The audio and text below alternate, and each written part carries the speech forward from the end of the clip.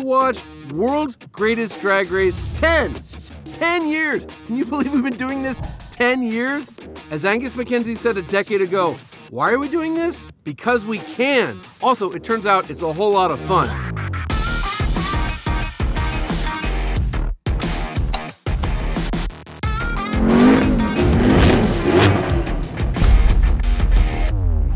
You might have noticed 2020 has been a bit weird. And as a result, we've been kicked off of the space shuttle landing strip, and instead we find ourselves here in the middle of the desert. Now, we're not going to run 12 wide this year because we only have eight vehicles. And we're not going to run eight wide because the road simply isn't wide enough. Instead, we're doing elimination style drag racing. Eight vehicles, we're going to do six races to figure out the quickest two, and the winner of that race is the first car to 2021. Are you ready? Are you set? Let's go.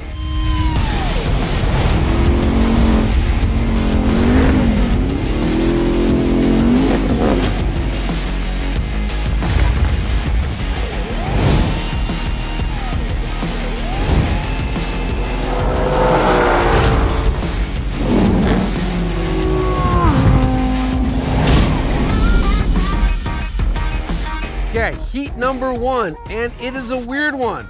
We have the Porsche Cayenne Turbo Coupe against a pickup truck. Not any pickup truck, it's a Ram T-Rex.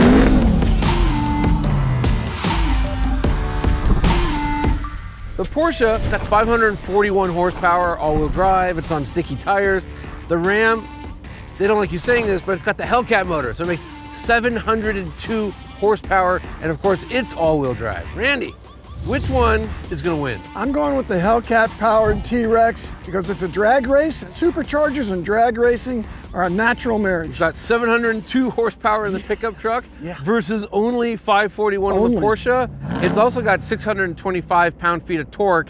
Porsche's like 567. Now, there's a weight difference, but all-wheel drive seems to overcome weight, so It's American excess versus German engineering. Yeah, boy, I think you're right. I think the Ram's gonna win. I hope it does. Well, probably the Porsche's gonna win. Anyways, all right.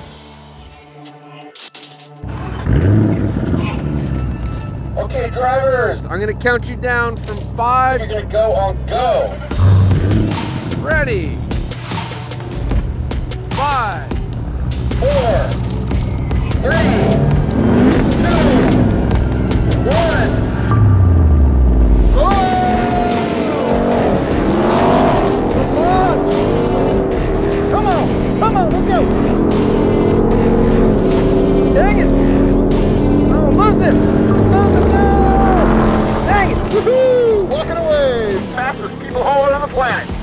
it. What in the hell?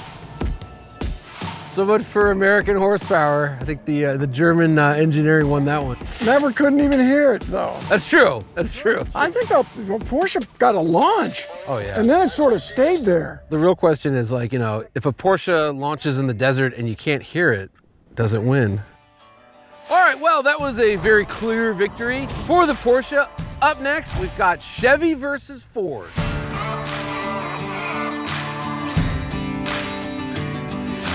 Hey, Randy, how much does that truck weigh?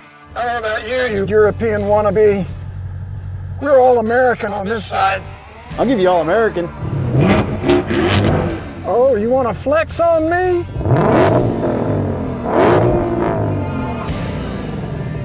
Our second race brings us a classic, Ford versus Chevy, but it's not a Camaro versus the Mustang. It's a mid-engine Corvette versus the 760 horsepower GT500.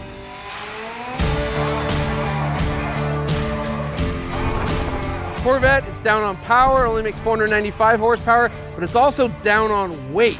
Uh, that Mustang is over two tons. Who's gonna win? Let's find out. You got nothing but ambient air pressure. I'm about to teach you a lesson called a weight transfer. I'm going to rely on those 335 Michelin Sport Cup 2s. You're on some plain old 50,000 mile economy tire. Cause I don't need no cheater tires, man. My engine is sitting on the rear wheels. This thing is gonna take off like you ain't I'm gonna go stop them. Hang on. Okay. Sorry to interrupt, boys. Uh, I'm assuming you're ready, so I'm gonna count you down from five. You're gonna go on go. Ready? Five, four,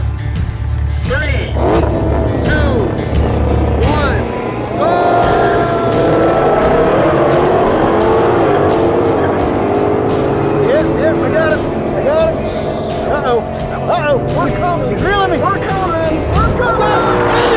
That's right. Get you some of that, boy. Poor doggies. That thing is good off the line, Scott. All right, well, looks like the Corvette eked out a victory. Mark, what happened? Corvette gets the hole shot. Mid-engine displaces the power to the rear wheels faster. It gets going a whole lot better. And besides, we're talking an incredibly light machine. It just flew down there. So yeah, the Mustang may be the bully, but the Corvette took the Mustang's lunch money. It's all about horsepower per pound, not horsepower per ton. Up next, we've got an Acura versus a Ferrari. The only reason the NSX exists was to beat Ferrari. In fact, the original NSX was so successful, it put all supercars back on the trailer and sent the engineers back to the drawing board. Today, we've got the new NSX against the F8 Tributo. Now the Tributo makes a lot of horsepower, over 700, but it's only rear wheel drive. That Acura has an engine plus three electric motors. It's all wheel drive. It says super handling on it. I don't know what's gonna happen. Let's find out. I'm gonna count you down from five and you're gonna go on go. Ready? Five, four, three, Two, one, Can you see? Can you see that pirate rainbow? Oh man, I'm Oh my lord. Woo! Wow, Formula One technology for real. well, Scott, what happened? I mean, look, you got a lot of technology in both these cars, right? Ferrari's got horsepower, but it's also got all kinds of clever computers going on in the turbos. It just hooks and goes. And even though the Acura can take off real hard, I, 700 horsepower, it's gonna run you down. That Ferrari whooped the snot out of the Acura. Up next, we've got a Porsche versus a Lamborghini. This next race is a bit of a family affair. You see, the Volkswagen Group owns Porsche and they own Lamborghini, and the similarities don't stop there. Both of these cars are all-wheel drive, they both have dual clutch transmissions, and they almost make the same horsepower. 641 horsepower for the Porsche Turbo S and 631 horsepower for the Lamborghini Huracan Evo. That said, the Porsche makes a boatload more torque. However, that Lamborghini is quick. Who's gonna win? Let's find out. All right, Randy. All right, Walton. You're gonna go on go. I'm gonna count you down from five. Ready? Five, four, three,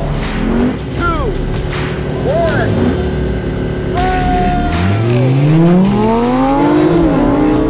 on, baby.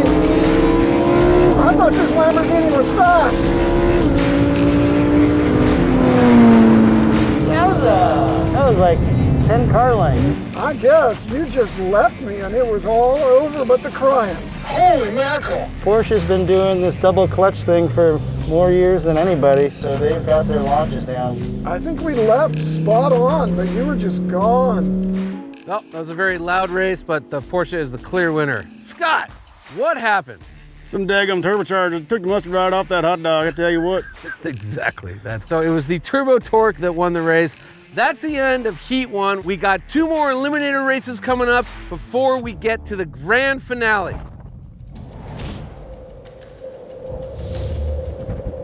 One of the bigger stories of 2020 is that the Chevy Corvette has gone mid-engine. And now it's just like a Ferrari. So much so that if aliens came down from space, they would question like why does the blue car cost $400,000 while the yellow one is under 100? I'm thinking this drag race is going to show the aliens what's up. All right, boys, I'm going to send you. I'm to count you down from 5. You're going to go on go. Ready?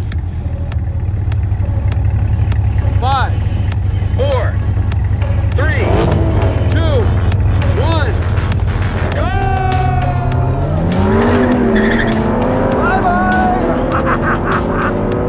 I just, Get on the gas there. What's the matter, Corvette? well, that ain't fair, y'all. That's just cruel and unnecessary. Well, Mr. Walton, uh, what happened? what happened was horsepower. 495 versus 711, you know? Right, It's right. just, it was impressive to watch the Corvette leave. They left at the same time, so they both have really good launch control, but then it was just all over. Right about the eighth mile, the, Yeah. the, the Ferrari started walking away from it. From here, it looked like about 20 car lengths. That was a race for about four yards, and then the rest was done. Yeah. Well, my uh, friends from another planet, that is why the Ferrari costs so much. Up next, we've got Porsche versus Porsche.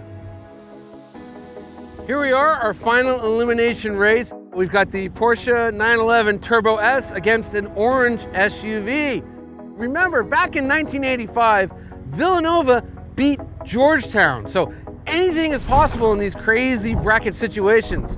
So yeah, I'm saying that the uh, orange Cayenne is Villanova, and I'm putting every penny I have on this green Georgetown right here. Boys, I'm gonna launch you. I'm gonna count you down from five. You're gonna go on go.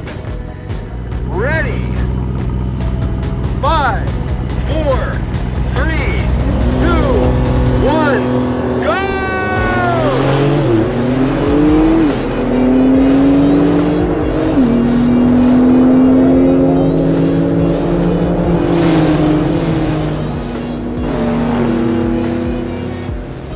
Wow, that was freaking incredible. And like a clock, does the same time, the same launch every single time, over and over and over again. It's unbelievable feat of engineering. This thing's ballistic. Well, Randy, care to uh, illuminate us as to what just happened? The Cayenne hasn't finished yet. Wait a minute. it's just the laws of physics. It's just Okay. a very powerful sports utility vehicle lined up against a very powerful sports car. Yeah, so the extra like 13, 1400 pounds doesn't help the Cayenne any? Yeah, we'll have to put a trailer behind the 911 Turbo. All right, well, that was the elimination round. We know that the two quickest vehicles here are the Ferrari and the green Porsche. We're not gonna do a quarter mile. We're gonna take it out to the half mile to see which is the winner of World's Greatest Drag Race 10.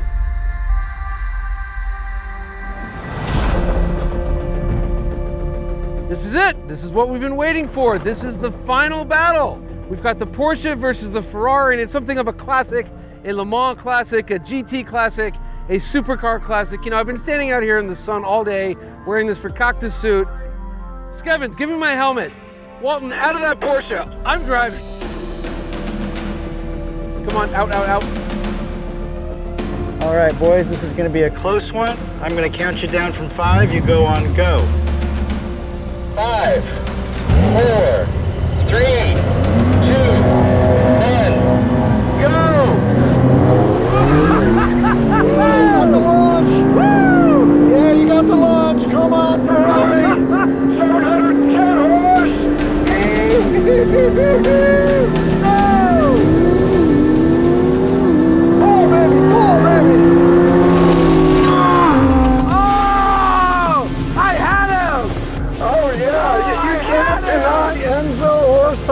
horsepower, Johnny. Oh! I had you! Why did I agree to a half mile? I had you in the corner, man! Quite a finish. Looks like the Ferrari reeled him in.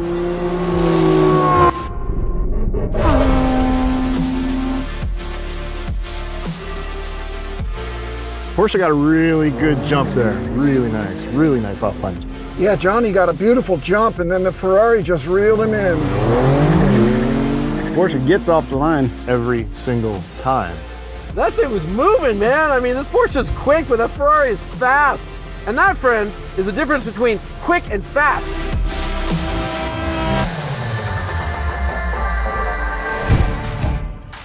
So, the Ferrari beat the Porsche by five measly feet. Five puny, miserable feet.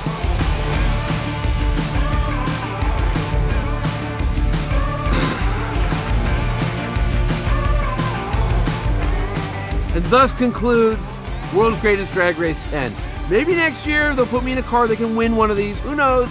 Until then, I hope you have a great year. Thanks for watching, everybody.